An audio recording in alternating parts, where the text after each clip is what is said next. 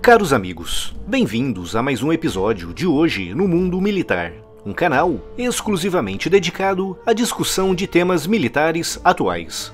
Neste vídeo tentarei responder uma pergunta que é muito repetida nos comentários aqui no canal. Afinal, quanto custou o ataque com 105 mísseis balísticos realizado pelos Estados Unidos, pela França e pelo Reino Unido contra a Síria? Todos os dias são destacados e debatidos temas importantes do mundo militar no Twitter do canal. Por isso, se você quer estar sempre atualizado, siga-nos também por lá. O link do Twitter está aqui na descrição. E se você gostar do vídeo, não se esqueça de deixar a sua curtida e de o compartilhar, pois isso ajudará muito no crescimento do canal. Afinal, quanto custou lançar aqueles 105 mísseis de cruzeiro contra a Síria? Trata-se de uma pergunta realmente muito difícil de ser respondida, pois envolve muitas variáveis. Mas simplificando um pouco as coisas, sabemos que cada míssil de cruzeiro Tomahawk pode custar entre 800 mil a mais de 1 milhão e meio de dólares, dependendo da sua versão. Cada míssil Storm Shadow da MBDA custa em média 1 milhão de dólares, e cada míssil AGM-158 tem um custo que oscila entre os 850 mil e o 1 milhão e 300 mil dólares. Por isso, como não sabemos exatamente quais versões foram usadas no ataque, e para facilitar um pouco o cálculo, podemos assumir que o preço médio de cada míssil empregado rondou 1 milhão de dólares o que significa que apenas em mísseis, o custo do ataque foi de aproximadamente 105 milhões de dólares. Mas a conta não para por aí, já que temos que considerar também o custo de operação dos meios utilizados para o lançamento desses mísseis. Fazem ideia do quanto custa a hora de operação de um destroyer da classe Arleigh de um cruzador Ticonderoga, de um submarino nuclear da classe Virginia, de uma fragata francesa da classe Fren, ou a hora de voo de um Dassault Rafale, de um Panavia Tornado e de um B-1B Lancer? A hora de voo de um bombardeiro B-1B Lancer é de mais de 50 mil dólares, e apesar dos Estados Unidos não terem esclarecido de onde vieram, com certeza as duas aeronaves utilizadas pelos Estados Unidos nesse ataque não vieram de perto.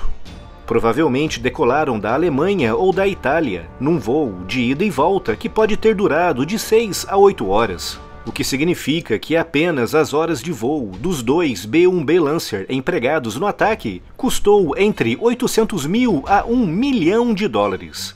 A hora de voo do Dassault Rafale ronda os 14 mil dólares, e como esses aviões decolaram da França, devem ter realizado um voo com uma duração total de 6 a 8 horas, o que significa que o voo de cada Rafale custou a volta de 80 a 100 mil dólares, com os quatro caças empregados no ataque tendo custado cerca de 400 mil dólares, incluindo aí o reabastecimento aéreo que tiveram que fazer durante o voo. O Panavia Tornado tem uma hora de voo mais barata, custando cerca de 4 a 5 mil dólares. Esses aviões decolaram da base aérea da RAF na ilha de Chipre, mesmo ao lado da costa da Síria, e por isso devem ter voado por no máximo duas ou três horas, o que significa que o voo dos quatro caças Tornado custou cerca de 60 mil dólares. E então chegamos ao custo de operação dos meios navais, o que inclui os destroyers, o cruzador, a fragata e o submarino nuclear, e esses custos são realmente muito difíceis de calcular.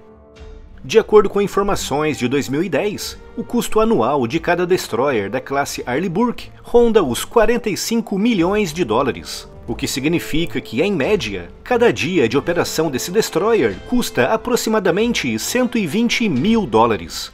E se considerarmos que cada destroyer precisou de pelo menos uns 10 dias de mobilização para a realização desse ataque, concluímos que a operação dos três destroyers custou mais de 3 milhões de dólares. O cruzador Ticonderoga é um pouco mais caro, mas como só um foi empregado, o custo total de operação deve rondar o 1 milhão e 250 mil dólares.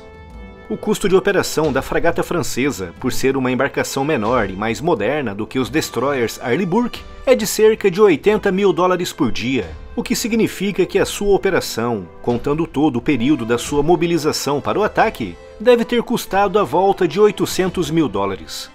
O custo de operação de um submarino nuclear da classe Virginia é bem maior, já que se trata de uma embarcação bem mais complexa.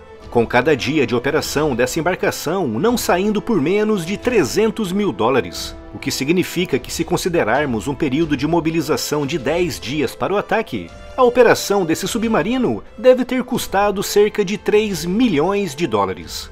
Portanto, se somarmos cada um desses valores, os mísseis, o custo de operação dos navios e do submarino por um período de pelo menos 10 dias, bem como o custo da hora de voo dos aviões envolvidos no ataque, chegamos ao montante aproximado de 114 milhões e 500 mil dólares.